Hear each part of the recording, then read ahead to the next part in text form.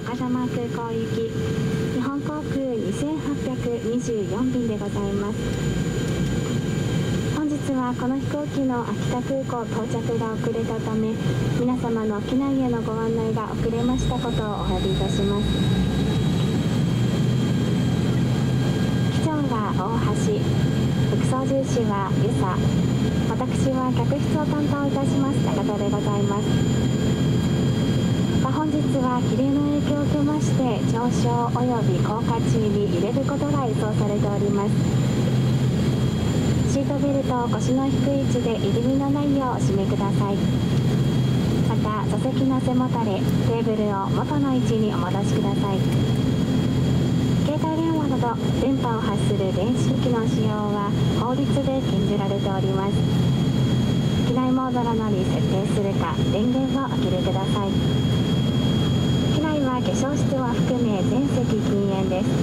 電子タバコなどもご使用になれません。それではどうぞごゆっくりお過ごしください。ただいまから非常用設備についてご案内いたします。皆様必ずご覧ください。なお脱出の際は荷物を持たないでください。また脱出後は非常口下での援助をお願いいたします。不明な点は乗務員にお尋ねください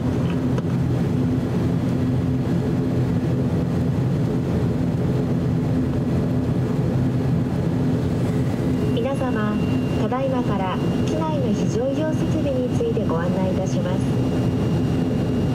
May we have your attention as we explain the location and the use of the safety features of this aircraft Please refer to our safety classes